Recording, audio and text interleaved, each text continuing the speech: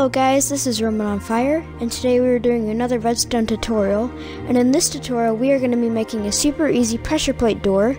So yeah, we're going to make another door in this video. Last time we made a Jeb door, which is pretty easy. This one's going to be another easy one as well.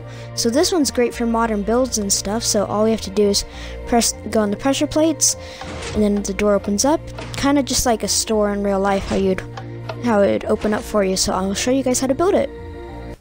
So you want to get your your um, base started with three six blocks across and three blocks up. So this space is going to be where our door is going to be. It's where it's going to hold our door. So you guys are going to need a redstone torch, 18 redstone, some blocks of your choice, four pressure plates, doesn't matter what kind, four glass or blocks or whatever, and four sticky pistons. So let's just take out everything now. So first, just place your um, pressure plates right here. And then this is where our door is going to be, so let's just skip a couple blocks. Place sticky pistons here, symmetrical like that.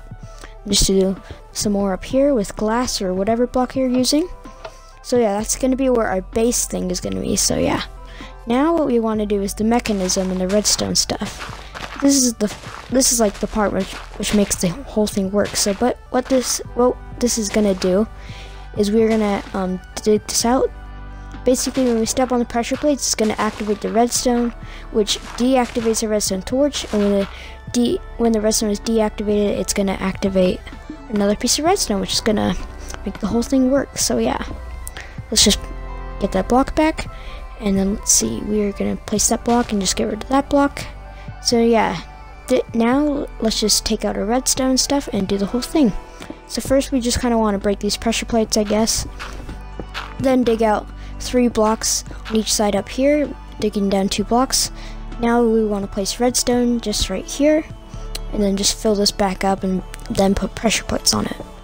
There we go. Now I've got the redstone for the pressure plates. Now we just link it up to here, and then do the same thing on this side. Now we want to place a redstone torch on here, and on here.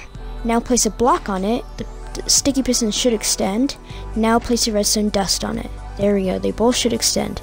So yeah, this is how this thing works. It should extend. So yeah, now it should look just something like this. This is base. So now we are done with the mechanism and stuff, not the mechanism. So we can just fill this up with grass if we want to, or just anything. So yeah, that's pretty much all the mechanism, hardly anything to it, just like some redstone torches and stuff. And now all we have to do is just kind of clean it up a bit, and just make sure everything's looking nice and night and I'm good so then we don't see that much of the redstone while we're um, going inside the door so yeah that that's pretty much it so we just um open the door bam it closes Right guys, that's the end of this video here. Hope this helped you out. If it did, remember to like, subscribe, and I'll see you later. Bye!